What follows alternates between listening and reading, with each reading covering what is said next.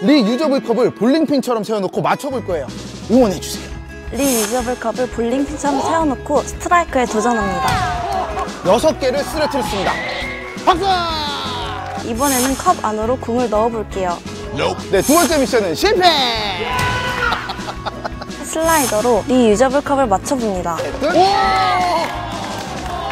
계속해서 재활용할 수 있는 reusable 컵을 활용을 해서 야구장에 쓰레기를 남기지 않으면 좋겠어요.